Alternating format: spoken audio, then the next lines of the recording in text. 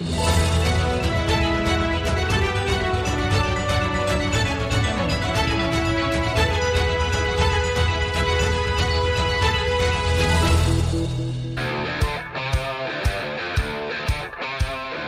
Buenas noches, queridos amigos, queridas amigas de Rompe el Muro, todos ustedes que nos escuchan cada jueves en Radio Voz Andina Internacional en este espacio de diálogo con la educación.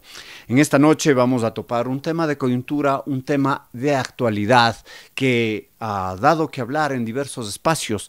Es la nueva malla curricular eh, planteada por el Ministerio de Educación.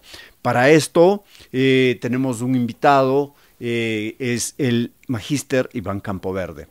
El Ministerio de Educación ha informado que desde el nuevo año lectivo, en el ciclo Sierra, se desarrollará el nuevo currículo. Nuevas asignaturas se trabajarán en este plan de estudios, se dará una nueva orientación a muchas de las asignaturas existentes y es un proceso que puede ser esperanzador. Por otra parte, se continúa con el proceso de articulación de las asignaturas y de articulación de los procesos formativos de los estudiantes de acuerdo a la nueva realidad actual. Para saber sobre la especificidad de estos temas, eh, hemos invitado al magíster Iván Campoverde, les decía, eh, exalumno de la Universidad Andina Simón Bolívar, querido amigo eh, del programa del área de educación, personalmente un buen amigo, y funcionario del Ministerio de Educación, quien nos contará en detalle esta iniciativa ministerial.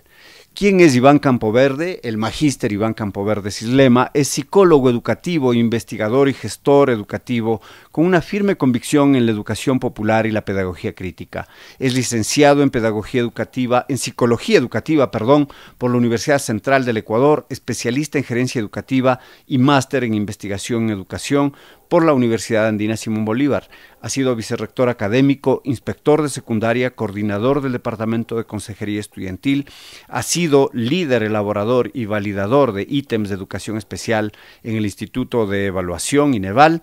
Actualmente, como funcionario del Ministerio de Educación, Iván está involucrado en procesos de formación inicial e inducción profesional. Es becario de la agencia de Cooperación Internacional de Japón, JICA, coautor de encuentros formativos docentes orientados a mejorar la práctica educativa en escuelas rurales y ha capacitado a más de 79 mil docentes en el programa de inducción. Está haciendo su doctorado en educación en la Universidad del Rosario, Argentina. Gracias Iván por estar esta noche con nosotros. Eh, bienvenido a tu casa, a la Universidad Andina. ¿Cómo estás? Bastante bien. Decir que esta también es mi casa, ¿no? Bien, bien, bastante contento de hecho. Bienvenido a tu casa, a este plantel que siempre eh, te acoge con los brazos abiertos. Empezamos entonces este diálogo. Iván, ¿en qué consiste la nueva propuesta curricular del Ministerio de Educación? Mm, me tengo a pensar microsegundos.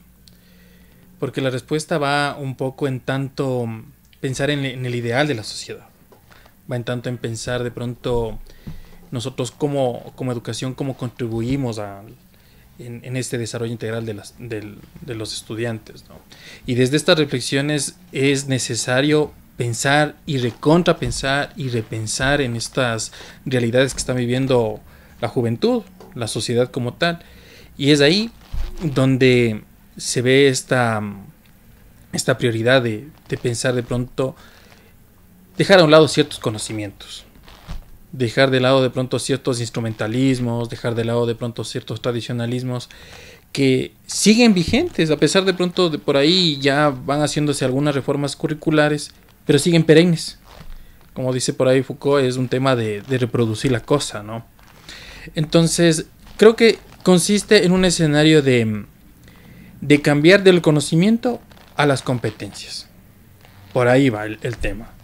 Entonces, eh, pensar de pronto en esta integralidad del sujeto, pensar de pronto en, los contextos, pensar de pronto en dejar de lado esta rigidez de, insertar de pronto cierta propuesta curricular en una realidad este, social, en una realidad geográfica que de pronto no, no es, no es la, la propia, ¿no? Entonces, el nuevo currículo eh, creo que debe estar pensado en términos de ser flexible, de contextualizar, de pensar en el sujeto como tal.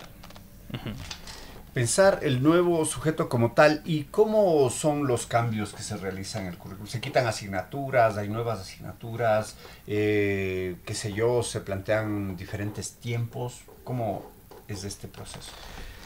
Verás, este, mm, de los diálogos que he podido tener de pronto con, con las áreas pertinentes de respecto al currículo, más bien ahorita se está pensando como una suerte de, a ver, detengámonos, pensemos realmente qué es lo que realmente necesita la sociedad.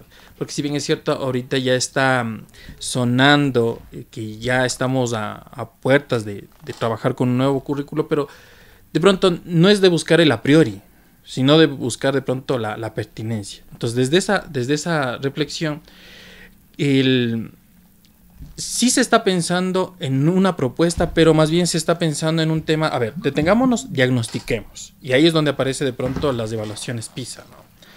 Entonces, a la luz de una, de una evaluación, a la luz de pronto de, sacar de pronto unos resultados que están ponderados de pronto más allá de, un, de un, tiempo, se hará un ajuste a la, una nueva propuesta curricular. Entonces, si bien es cierto, ahorita está como sonando el tema de unas nuevas asignaturas, pero no en unas asignaturas de que, ¿sabes qué? En vez de tal asignatura va esta. No, no, no. Es dentro del mismo, porque recuerda, está vigente el currículo priorizado, eh, contextualizado, ese está, está vigente. Entonces, sobre la base de ese currículo, se va a insertar estas, estas asignaturas. Por tanto, pues de pronto lo que sí se requiere es de pronto pensar en, en la realidad del aula, pensar de pronto en esta, en esta situación y pensar de pronto en la propuesta curricular que en esa aula, en ese establecimiento educativo, lo va a desarrollar a la luz de este currículo que te estoy mencionando que sigue vigente. Y, entonces, esto es como novedoso, ¿no? Es una casi una primicia de, que tenemos. Eh, de lo que entiendo es un, nuevo momento. Hubo un momento, la, hace una semana más o menos, en que se, se dijo, vamos a retomar la cívica porque esencialmente se pensaba en ello, eh, asignaturas optativas, asignaturas eh, particulares, de acuerdo a la realidad eh, específica de los planteles, educación financiera, era, era la propuesta.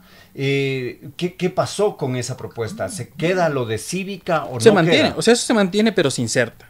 Ya de pronto las... el, área competente ya entrará en más detalle, yo te comento de pronto desde reflexiones de los diálogos que he tenido, pero eh, se inserta la cosa.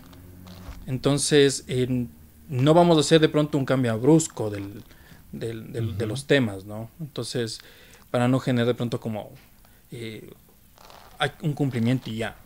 Creo que es momento importante de pensar en la educación, pensar, como te decía, en, este, en este horizonte. Entonces, quizás podría ser que, que se adelantaron en esta propuesta y luego reflexionaron para cambiar aquello. Yo creo que de pronto, cuando decimos se adelantaron, aterriza necesariamente en sujetos, ¿no? En personas. Yo creo que por ahí no va la cosa. Ya. Yo creo que de pronto va en el sentido de, comprometerse con, con la.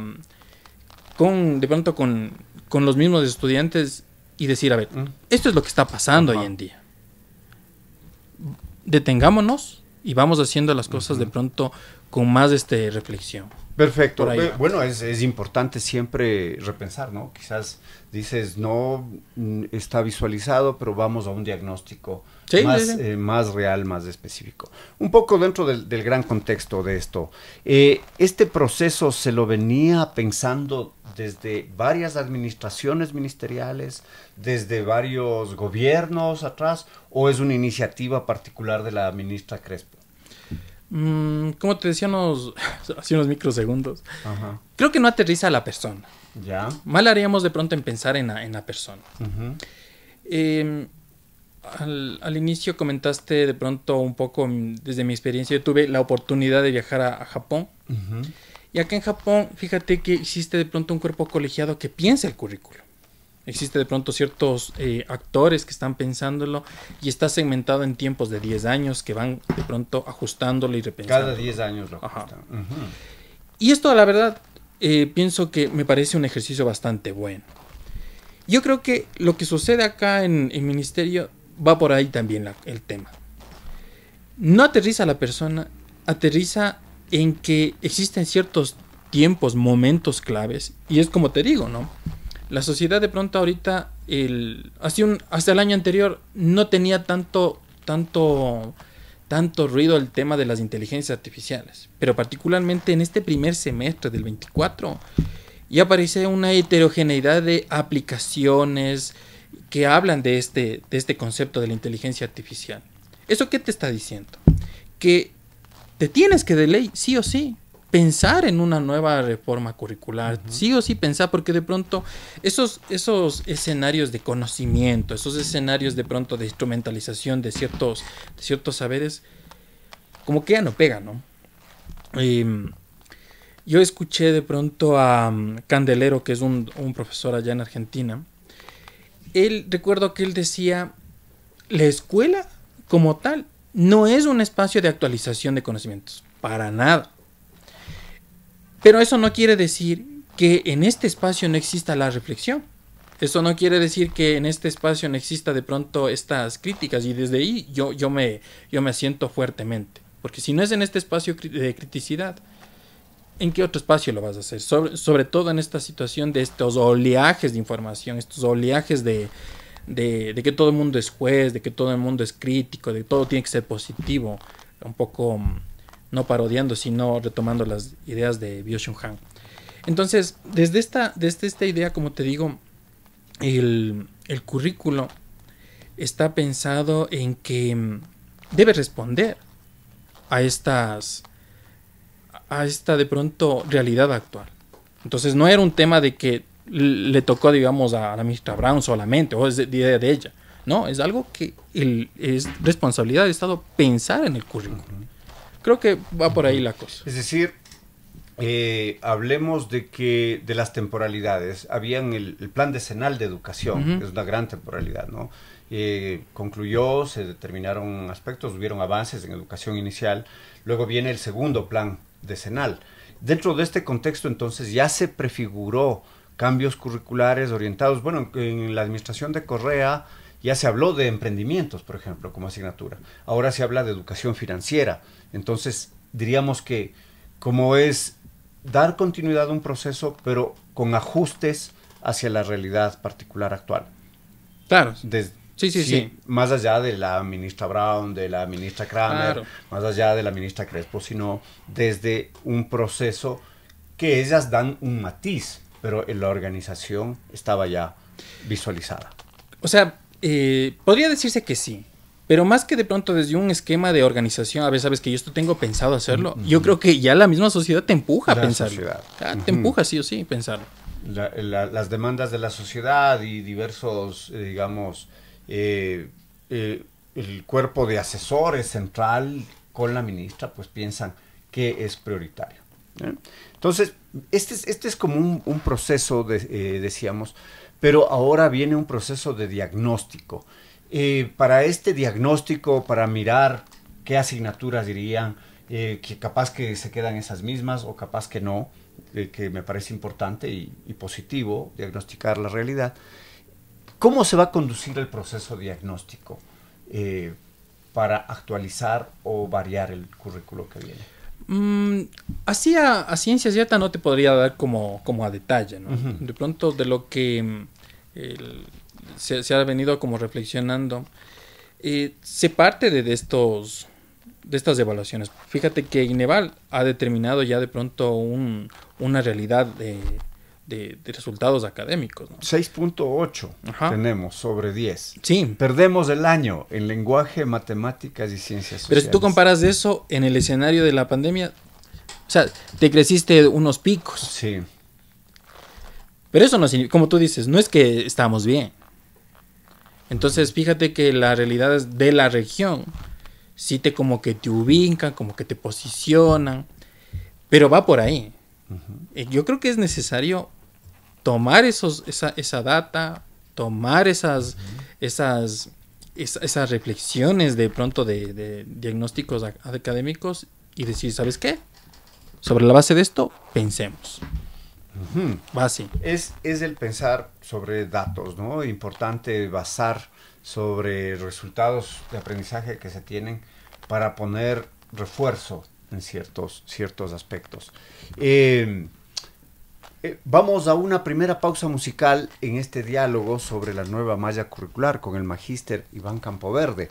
Al volver, detallamos cómo es que continuaría este proceso, porque no es un proceso fácil el, el realizar el diagnóstico y posteriormente el generar una nueva implementación. Nos acompaña el amigo, el colega Iván Campoverde, psicólogo clínico, magíster en investigación por esta casa de estudios. Mi querido Iván, eh, con este proceso diagnóstico que se viene, eh, luego de tener los datos, eh, ¿qué, se, ¿qué se vería? ¿Se vería una fase de, de reunión con diversos estamentos del ministerio, docentes, o cómo se canaliza un proceso de este estilo? Mm, no creo que de pronto es esperar, yo creo que es sobre la marcha. Y sobre la marcha ya entiendo que se han venido desarrollando diálogos, reuniones, eh, entiendo mismo que varias instituciones de educación superior pienso que estarán involucradas y diferentes actores. Pienso que debería ser así, o está desarrollándose de esa manera. Pero eh, un poco ya de pronto pensando en un itinerario de, de, de ya aterrizarlo, obviamente aterriza con la y los primeros pasos estarán en lógica de, formación docente, de pronto, de pronto de, propuestas formativas, de escenarios de, limitar lineamientos, de pronto por ahí un este algún instructivos y de pronto también espacios de, de ir como modelando estos primeros pasos, supongo, ¿no? Es un proceso interno, pero vinculado con actores actores externos que hacen educación, ¿no? Totalmente, pienso que debería ser así. ¿Y qué ventajas tiene una nueva propuesta curricular eh, de este estilo? ¿Cómo la planteada o como la diagnóstica? Pero el cambio, ¿qué, ¿qué, ventajas tiene esta nueva propuesta? Ah, pues totalmente. Fíjate que el pensar ya en una nueva propuesta curricular que responda a una realidad concreta deviene en sujetos realmente digamos, no, es que no los actuales no estén, sino que de pronto les va a ser de pronto más propicia su, reflexión a interactuar. Porque algo que de pronto sí pienso que está pensándose es este hecho del, de la criticidad. Porque hoy en día estas inteligencias artificiales insertas de pronto ciertos, ciertos prompts y ya te arroja de pronto la idea. Por ahí no va la cosa. Yo creo que el, el tema es cómo reflexionas de esa información. Y eso es lo propio. Entonces, ¿qué estamos buscando? Que los estudiantes, que nuestros niños, niños y adolescentes, ellos sean de pronto pertinentes en su reflexionar. Sean propicios para sí mismos, sean propicios para su comunidad, sean propicios de pronto para su nación como tal. Entonces el horizonte que está pensándose es justamente en, nuestros estudiantes.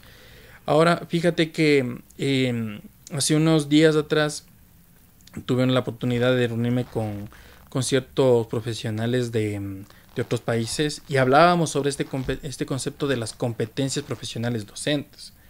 Y uno de estos, em, de estos conceptos aterrizaba en estas competencias socioemocionales que debe tener nuestro docente. Entonces yo creo que el currículo va a reforzar estas habilidades del docente en ser de pronto más, em, más consciente de pronto de su interactor con, los estudiantes y de hecho pienso que disminuiría estas, estas situaciones de, violencia, incluso hoy estamos viviendo, ¿no? Porque de pronto el hecho de poder manejar el, el, situaciones emocionales, de gestionar estas, estas emociones como docente y proyectarlas a los estudiantes, te da un espacio de seguridad. Que eso es la escuela, es un espacio de seguridad. Entonces por ahí van las ventajas. También ventajas de pronto en sentido de que ya mm, el, tendremos de pronto un perfil de salida que mm, eh, se articulará, entiendo, con la educación superior y de ahí, pues obviamente habrá ciertas áreas de productividad que vendrán en sentido de, mejorar el, Estado, ¿no? Importante eh, lo, último que planteas, eh, que me parece que de lograrse eh, sería un, salto importante, un salto cualitativo. ¿Por qué? Porque hay un desfase entre la secundaria y la educación superior, ¿no? Tanto en conocimientos cuanto en competencias. Muchas veces nos quejamos los docentes universitarios de que no aprenden a investigar en la en el colegio y por eso no tienen bases y ellos dicen a su vez de la escuela y de la escuela vamos hacia todos los procesos. Pero esto, esto sería importante. Ahora, eh, eh, hoy como siendo, desde, desde, como se diría, siendo abogado del diablo, ¿acaso es suficiente generar criticidad desde el currículo? Con el currículum, cambio en el currículum, automáticamente hay criticidad en los estudiantes. No, no, no. O sea, existen varias, varios eh, factores, o sea, redundando, varias variables. Y obviamente es repensar este en las, en las prácticas educativas, ¿no? Pero obviamente por eso mismo se despliegan otros escenarios de, de, fortalecimiento curricular. De pronto, por eso mismo se despliega una propuesta formativa, se despliegan de pronto también un escenario de, de recursos, porque no es solamente el hecho de, ya, esta es mi carta y me la juego y con esto ya solucioné todo. Pienso que no es por ahí el asunto. ¿no? Pero es, es un paso desde, Importante. El, desde el edicto, digamos, desde la normativa de política educativa, eh, aceptarlo. Sin duda claro, es, importante, pero hay otros factores, queridos radioescuchas, eh, no olvidar aquello. Las, también es una implicación de los docentes, de su actuar particular en la recreación, en sus capacidades, sus, en sus percepciones también, en el entorno comunitario, en los padres de familia. Varios actores están involucrados en un proceso así. Ahora, otra vez, eh, este proceso es, es importante, este proceso va y sin embargo el, el, sector educación tiene decrecimiento en el presupuesto. ¿Se ha considerado presupuestos para esto? ¿Tenemos dineros que posibiliten y que hagan factible que se realice? ¿O eso aún no se sabe? No podría darte respuesta respecto a eso. De pronto eso le atañe a otros, otros responderlos. Pero eh, es responsabilidad del Estado. Entonces, el solventar estas, estas situaciones. Solventarlo, sería, se esperaría que el Estado eh, responda con recursos suficientes. Ahora, ¿qué desventajas habría en esto? ¿Qué procesos ves como dificultades que se darían en este proceso? Mm, yo creo que igual de pronto va a sonar este utópico lo que te voy a decir, ¿no? Pero no le pondría en términos de desventajas, sino le pondría en términos de oportunidades. Pero las oportunidades obviamente están ligadas a nudos críticos. Ahora, ¿qué nudos críticos de pronto podrían este, generarse? Es esta mm, estas limitaciones formativas, de pronto el hecho mismo de la, de, la implementación como tal, el de pronto, mm, qué sé yo, el, incluso, fíjate, existe de pronto cierta, mm, ciertas em, limitaciones en la comprensión del currículo que aún está vigente. Entonces, por ahí vendría también una nueva complejidad en, la implementación de un nuevo currículo. Pienso que por ahí eh, irían estos nudos críticos, que de pronto generarían estas oportunidades de, generar de pronto estrategias para solventarlas como tal. Si no las pensamos ahorita, eh, mal haríamos de pronto esperar a ver qué sucede y desde ahí reaccionar, ¿no? Pienso que es algo que debe plantearse desde estos momentos. Y es el diagnóstico también. Totalmente. dar una, una, oportunidad a ello. Sí, sí, sí. Eh, sin embargo, tú mencionaste algo, un concepto que es importante dentro de la estructura curricular que son las competencias. Eh, el currículum se está trabajando, se viene trabajando por destrezas y ahora pues de, desde Correa empezó ¿no? a plantear las competencias, en, con Lenin Moreno ese tema quedó un poco difuso, Lazo y la ministra Brown trataron de retomar y de reformar el currículum hacia un currículum por competencias. Dos preguntas, mi querido Iván, ahí uno, para nuestros radioescuchas, ¿qué significa el ir de destrezas a competencias? ¿Qué es ese cambio?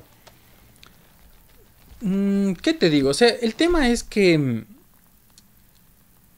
sí está la competencia ahí. Son los modos de entender la cosa nada más. Mm, pero la coyuntura de la región es, eh, está pensada desde esa lógica. Hoy en día de pronto entiendo que hay postulados, nuevos, nuevas investigaciones que incluso hasta refutan el concepto de la competencia. Pero yo creo que el, pensar en las competencias hoy en día es generar habilidades, generar de pronto ciertos saberes y que él, el estudiante esté de pronto em, en cierta en cierta mm,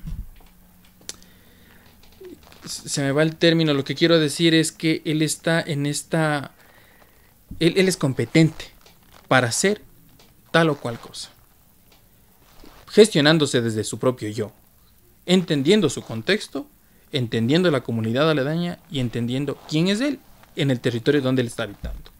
Creo que por ahí va el tema de, las competencias, porque de pronto ser diestro, sí, de pronto pues, suena bastante instrumental, pero si tú analizas de pronto el, el currículo actual, el, está pues pensado así, tiene la estructura de una competencia realmente.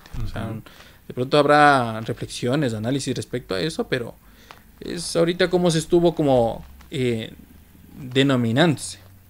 Pero ahí estuvo la competencia, siempre estuvo ahí. Ahorita de pronto el currículo eh, priorizado está pensado desde estas competencias como tal. Y los docentes lo trabajan, y los estudiantes lo adquieren, lo desarrollan. Eh, las competencias irían entonces hacia el hacia la aplicabilidad del conocimiento. Lo que tú decías, las habilidades. la destreza, sé sumar, 2 más 2, números decimales. La competencia es cómo aplico eso en la vida cotidiana, en construir un anaquel o en cómo articular de manera más específica el conocimiento de diestro en el que soy, ¿verdad?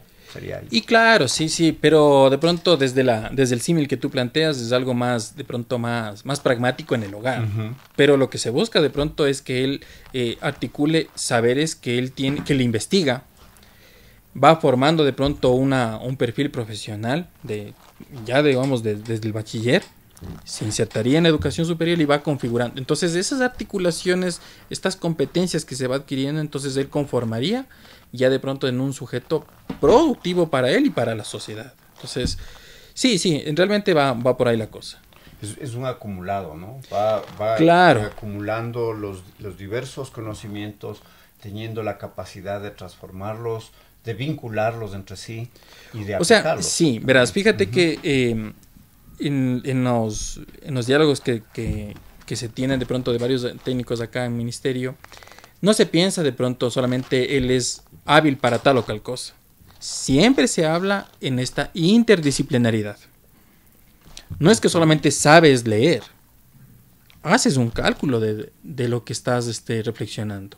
¿Cuánto tiempo te vas a demorar? Eso hace nuestro estudiante.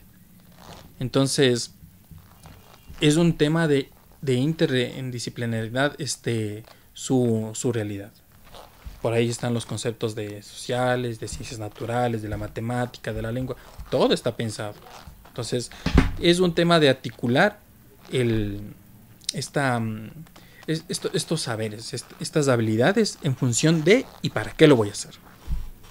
En efecto, entonces, desde ese gran paraguas y, la reeducación curricular que se daría luego de un diagnóstico, iría dentro de ese gran paraguas, de ese gran paraguas interdisciplinario, de ese paraguas de vinculación de conocimientos eh, de, una manera más, más adecuada. Dentro de esta misma estructura, en cambio, eh, recuerdo que los últimos días de la ministra Brown se hablaba de un cambio curricular, más bien más específico hacia forzar las competencias. ¿Qué pasó con ese proceso? ¿Cayó con el cambio del gobierno o se reorienta desde otra perspectiva actualmente? Yo creo que sería más en términos de lo segundo que mencionas, va por ahí como reorientarse. Pero como te digo, no creo que va aterrizando desde una postura, ¿no? Sino desde un, desde un, desde un proceso. Desde un proceso, desde un proceso dado. Estamos conversando con el magíster Iván Campoverde esta noche sobre eh, las nuevas asignaturas del currículum. De hecho, nos cuenta que se está repensando el proceso de, eh, renovación curricular desde un diagnóstico. Eh, conversamos esta noche con el magíster Iván Campoverde, funcionario del Ministerio de Educación, sobre el tema el nuevo currículum propuesto por el Ministerio de Educación.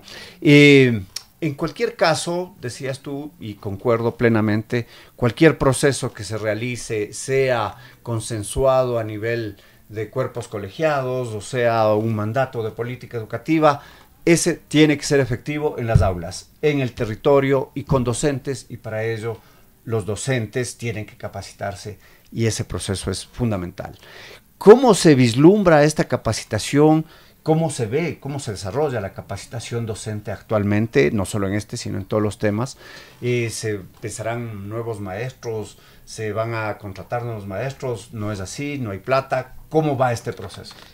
Bueno, como te había comentado, el, el tema actual es un tema de inserción. De las asignaturas que se menciona es una suerte de inserción. Por tanto, no es que habrá nuevas contrataciones. Y de hecho, el, los perfiles profesionales de nuestros docentes eh, corresponden de pronto y son competentes en poder desarrollar estas, estos, estas nuevas asignaturas, que estarán insertadas en la asignatura como tal, ¿no?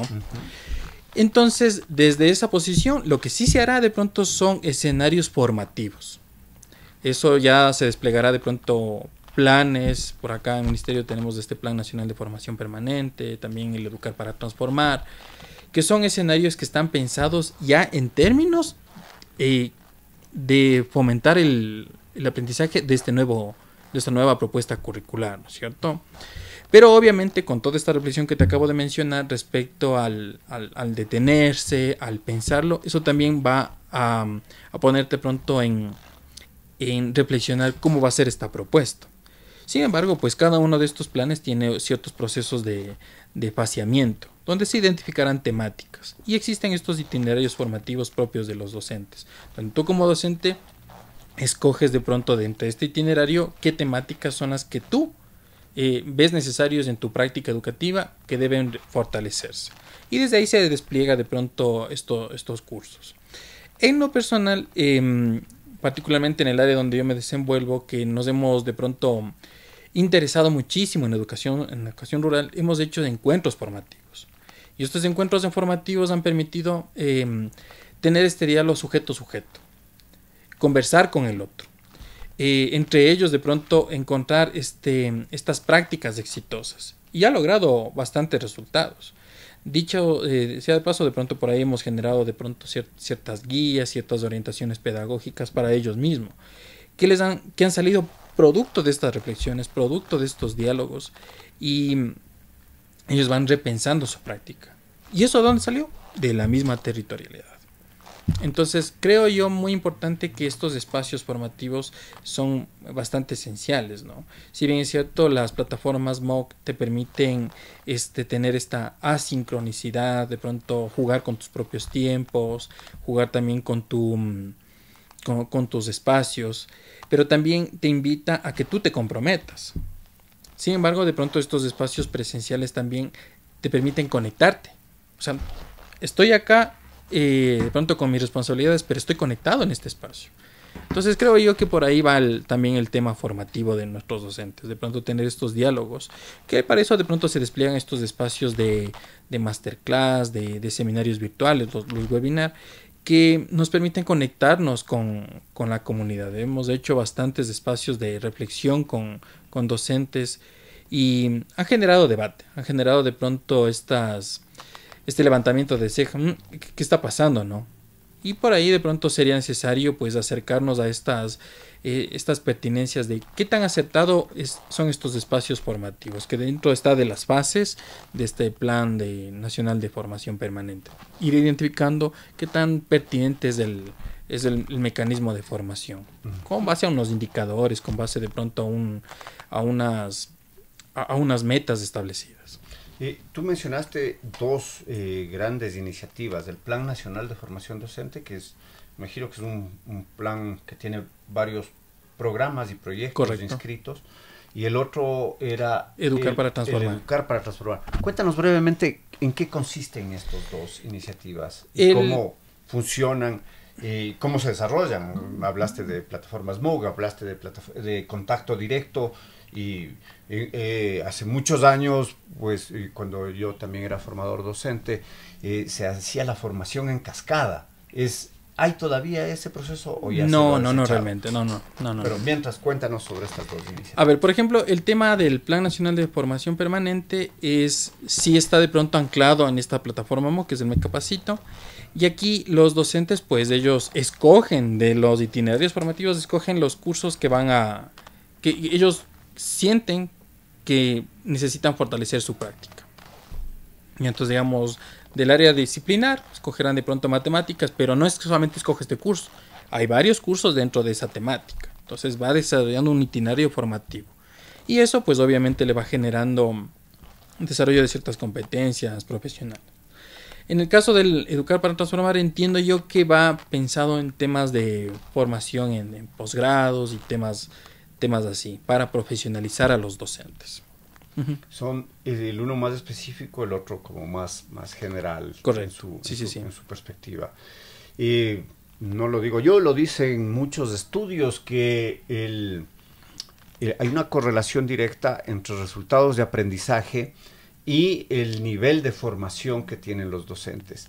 Eh, ¿Cómo evalúas tú el, el nivel de formación de nuestros docentes? ¿Son docentes sumamente cualificados o realmente se están empezando a, potenciar? ¿Cómo evaluarías tú? A ver, este, mm, yo creo que eso es un, tema bastante mm, que llevaría de pronto otro espacio de reflexión. Particular. sí. Porque está ligado al. Está ligado a las personalidades. Está ligado a los modos de pensar la realidad. Como sabes, la región, no solo Ecuador, la región como tal, está muy transversalizada desde este pensamiento positivista. Muy transversalizado. Entonces, desde esta posición positivista, tú esperas que me digan mover y yo muevo.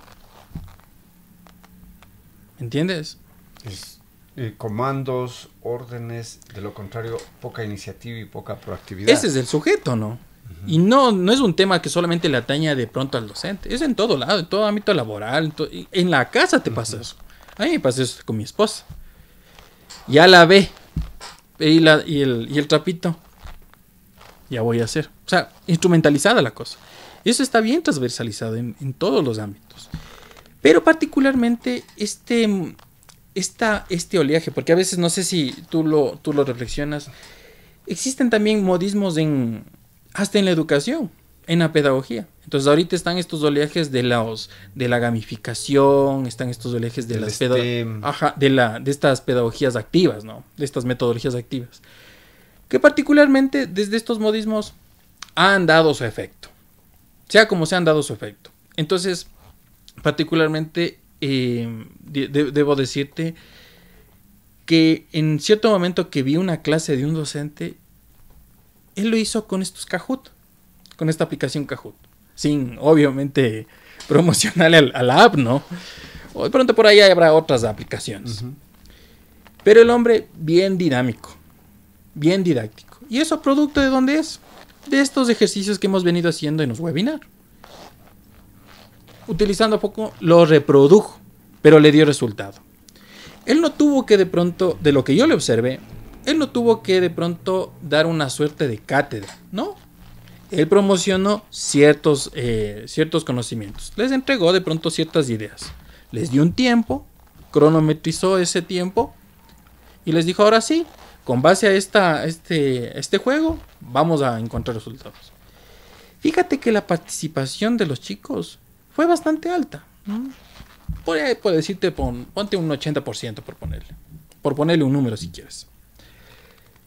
Pero eso me parece súper bueno.